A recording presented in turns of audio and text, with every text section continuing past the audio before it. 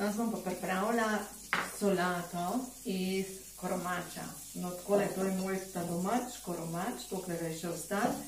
In v glavnem hočem pokazati tudi odličen recept. Tamne, kar slište v zadju, pečem lososa, tako da to bo kosilo, ki pač hitro, enostavno, ampak dejansko vam želim pokazati tole solato.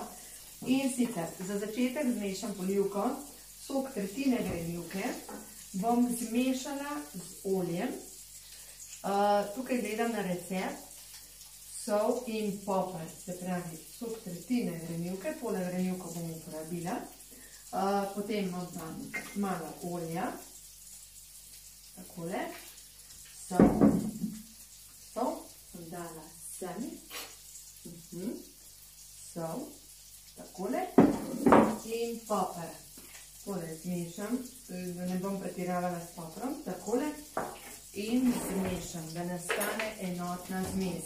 To bo potem polivka, za čez tole sado zelenjavno solato. Zdaj pa kaj naredim s telom. V glavnem, preostanje grenivke, kitajsko zelje, korenček, avokado narežem in v glavnem jih dam za solato. Zdaj bom vse to zrezala in bo pripravljen za solato.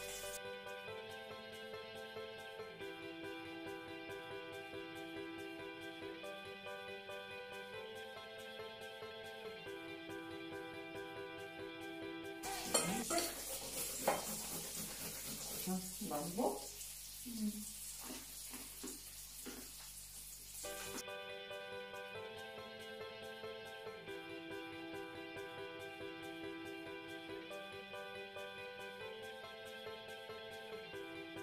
Nekaj grana jabolka. Takole. In zdaj dodam malo radiča.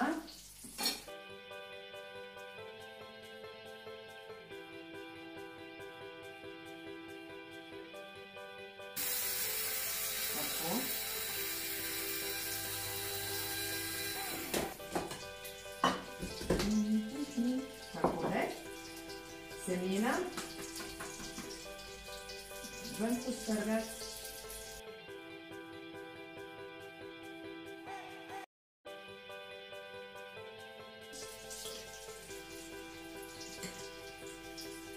Sadno zelenjava slata.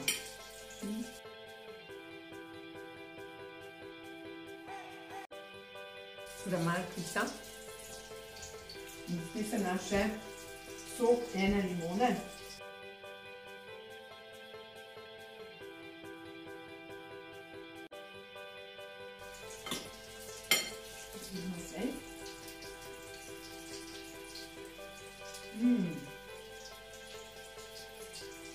Odlično, odlično, super. Zdaj solata pripravljena.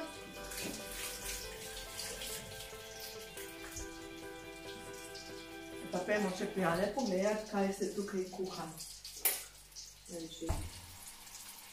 No, tukaj imam kukmake. V glavnem, ko grem na, ko grem v gost, bi bilo škoda, da ne bi bo pobrala. Tukaj imam že pripravljenega lososa.